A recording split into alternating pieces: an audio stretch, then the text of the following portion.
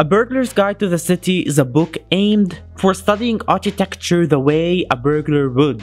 The author, Geoff Manaugh, takes readers through walls, down elevator shafts, into panic rooms and out across the rooftop of an unsuspecting city. The book includes nearly 2,000 years of heists and break-ins. It draws on the expertise of reformed bank robbers, FBI special agents, private securities consultants, the LAPD Air Support Division, and architects past and present. Whether picking locks, climbing the walls of a high-rise apartments, finding gaps in a museum's surveillance routine, or discussing home invasions in ancient Rome. A Burglar's Guide to the City ensures readers will never enter a bank again without imagining how to loot the vault or walk down the street without planning the perfect getaway. In this video, we will be reading one of the first chapters from this book giving you a general idea about what the author is trying to demonstrate. Geoff was even kind enough to offer a free copy for one of you guys. Wait till the end of this video to know more on how you can participate. This reading was suggested by our friend Nice, founder of the Vomitorium, a visual and engaging blog where she handles historical architecture topics. You can find the link to her blog down in the description. We highly recommend her blog posts. Before we begin, make sure you are subscribed to our channel for more readings like this. And we truly hope you would consider joining our Patreon to help us keep moving forward with our content. You could also benefit from lots of offers such as giving you a one-on-one -on -one lesson on animations and rendering. Click the link down in the description to know the details. And now, let us investigate. In one sense, burglars seem to understand architecture than the rest of us. They misuse it, pass through it, and ignore limitations a building tries to impose. Burglars do not need doors. They'll punch holes through walls or slice down through ceilings instead. Burglars unpeel a building from the inside out to hide inside the drywall or underneath the flipboards or up in the trusses of an unlit crawl space. They are masters of architecture origami, demonstrating skills the rest of us only wish we had. We can call them the dark wizards of the city, unlimited by laws that hold the rest of us in. Burglars seem to exist in matrix space, a world where to paraphrase worlds on metaphysics, not only is there no door, but there are no walls, roofs, or ceiling.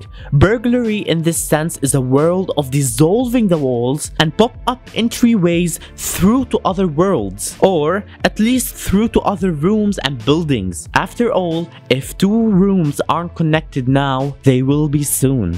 If there is no route from one building to another, a burglar will find a way. Even if it means digging the tunnel between the two using discarded mining equipment picked up for cheap in California. Burglars reveal with often eye-popping brutality how buildings can really be used. They introduce perforations, holes, cuts, and other willful misconnections it is as if they are sculpturing a building in reverse. For the burglar, every building is infinite, endlessly weaving back into itself through meshed gears made of fire escapes and secondary stairways, window frames, and screened-in porches, pet doors and ventilation shafts, everything interpenetrating, everything mixed together in a fantastic knot. Rooms and halls coil together like dragons inside of dragons or snakes eating their own tails, rooms opening onto every other room in the city.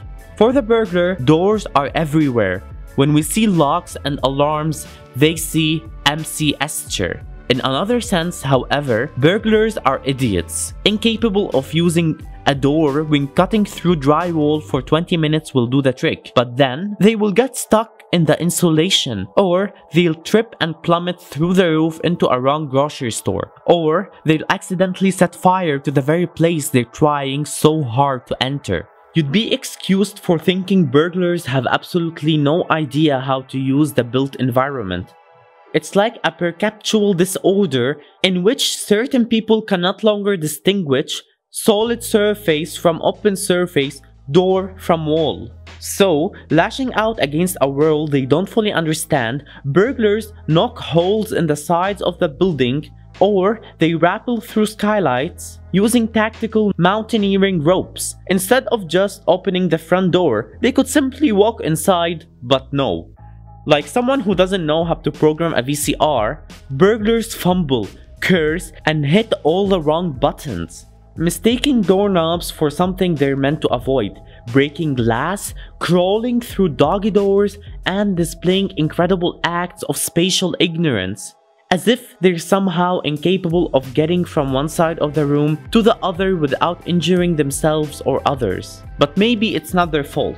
Maybe no one ever taught them how to use a building. We created a term for this, burglar's syndrome, a spatial disease, something that compels you to misuse buildings. But let's settle instead on a middle ground and say it's a combination of the two extremes. Burglars are idiot masters of the built environment, drunk Jedis of architecture space. Today, nearly 150 years later, burglary and architecture still go hand in hand. If you look closely, from just the right angle, every city implies the crimes that will someday take place there. Burglary is designed into the city as truly as your morning commute. In order to win a free copy of this incredible book, make sure to follow these simple rules. Subscribe to our channel, like this video, comment down below a burglar's guide, and follow us on Instagram to increase your chances of winning. That's it for today's reading everyone. If you liked this book, please comment if you want us to do more reading sessions from this book or from any other book you would like to recommend down in the comments. Make sure you subscribe and like this video, follow us on Instagram for daily facts and trivia about buildings and architects. We wish you all the best and we will see you in the next one.